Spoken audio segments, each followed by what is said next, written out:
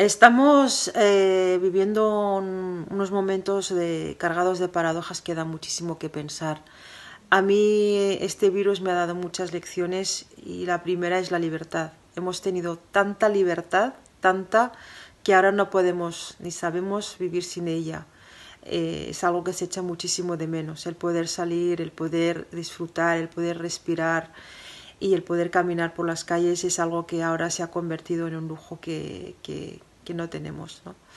Eh, por otra parte, yo creo que hemos infravalorado muchísimo las personas, eh, las relaciones entre personas. No hemos, hemos sabido valorar las personas que, que tenemos alrededor. Hoy en día hay muchísima gente que vive sola, muchísima gente que desea un abrazo y que no tiene a quien dárselo. El tiempo, nunca hemos tenido tiempo para ir a tomar un café o para pasar media hora con nuestra gente mayor, para para disfrutar, para, para estar con ellos básicamente. Ahora tenemos todo el tiempo del mundo, pero estamos en una presión sin rejas y no podemos disfrutarlo tampoco. Es muy duro, es muy duro de estar encerrado en casa con angustia, preocupación, sin saber hasta cuándo, y de no tener ese contacto, esa vida normal, ese contacto familiar con los amigos, de no acudir a los lugares donde siempre acudes, de no, hacer tu actividad diaria normal. Es complejo. Pero creo que debemos prepararnos para enfrentar a un futuro aún más complejo, quizás con un cambio de rumbo en muchas cosas en nuestras vidas.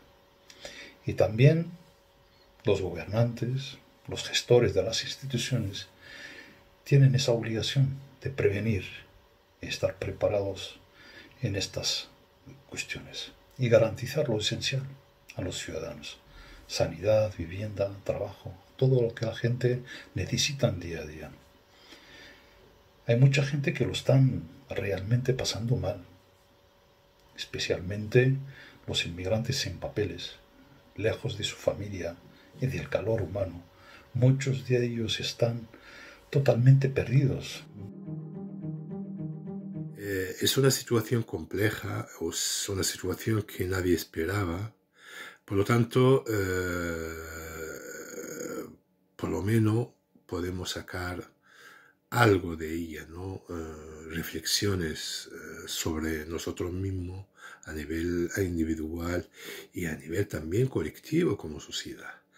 Y nosotros realmente ahora nos damos cuenta mucho de lo importante que es lo colectivo, ¿no? que es lo público, que es que eh, mi vecino tenga como yo una, una educación adecuada, una sanidad pública adecuada. Entonces vemos la importancia de todo eso, porque realmente si a mi vecino le afecta algo en su bienestar, eso también me afectará a mí en mi bienestar. No estaré bien si mi vecino no está bien. Entonces, independiente del color, de la ideología, de, de, la raza o de la religión, pues hay que actuar, hay que pensar de forma eh, colectiva y apostar por lo público. Lo público es importante, lógicamente, eh, dentro de lo que cabe, ¿no? pero es importante, nos damos cuenta de que hay, que, hay sectores donde no hay que eh, relajarse y hay que apostar fuerte por ello. La pandemia ha destruido todas las fronteras ideológicas, nacionalidades, colores y los nacionalismos globalizando todo el planeta. Estamos ante un, un antes y un después. La pandemia nos está obligando como humanidad a repensar las fronteras y las patrias hacia una sociedad humana basada en la solidaridad y la interdependencia, o sea, ciudadanía del mundo. Porque si el coronavirus afecta a una parte del planeta, todo el resto se va a infectar. De ahí viene la urgencia de un sistema sanitario global, más allá de los egoísmos, y de que se, salve quien pueda. O sea, nuestro reto colectivo como humanidad será la sociedad global vemos los, los eh, datos del Ministerio de Sanidad o cuando vemos las estadísticas, no, no se habla de nacionalidades, no se habla de la procedencia de las personas, sino se habla de personas en un conjunto, como una sociedad. Yo creo que también eso es, nos hace también mucho más unidos. Yo creo que es el momento de estar unidos.